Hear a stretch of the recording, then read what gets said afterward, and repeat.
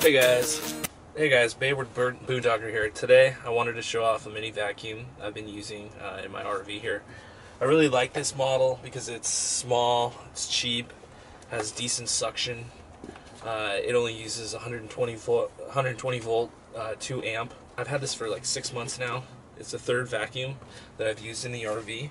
So I previously had a regular uh, household-sized right uh, upright vacuum and it had that had really really good suction. It was like a Bissell brand, but the problem was it was just it was just so large and it was hard to store in the RV, um, and as well as the size of the head that vacuums with the bristles, it's just too large to get in all the nooks and crannies that you find in an RV. So I went on Amazon and I found a uh, upright stick devil vacuum. Um, it's really compact. It was good for storing, but the problem was that there were no rotating bristle heads on there, and that made for pitiful suction. So uh, I feel like it was better to be used on like hardwood floors in a kitchen for sucking up like pet hair. So um, the hunt continued for me. Uh, so I went back on Amazon and uh, I got the one that you see here. It's the Dirt Devil hand vac.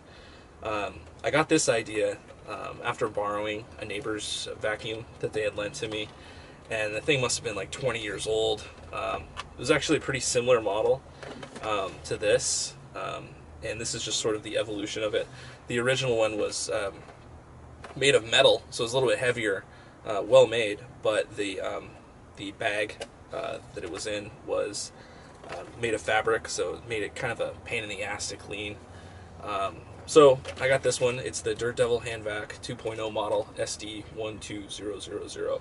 So I paid uh, 38 bucks for this. Um, I just checked in August 2014. The price went down to like $34. It's got a four and a half star, four and a half star rating on Amazon right now. Um, the image that was there doesn't really look like the one that I got, but pretty close. Um, I think the features that matter to me most are the ease of cleaning this one, you can just click this little switch right here and you can dump out the majority of it into the trash. So I really like that. Uh, if you want, you can either, you can also rotate this right here and then you can like clean the filter out. Um, and you can remove more of the dust that way. Uh, it's pretty uh, quiet. Um, doesn't use a lot of electricity. I like that. I like that the cord is 20 feet long. Um, that'll span the entire length of my RV, so that's awesome.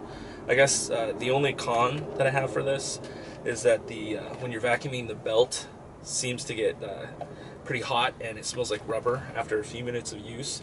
And this is probably planned obsolescence that they have in mind. They want you, Dirt Devil, wants you to probably, you know, create. They want to create a secondary market so that you can buy these uh, these belts. Um, they advise you to replace them every six months and currently they go for about eight bucks on Amazon if you have a Prime account.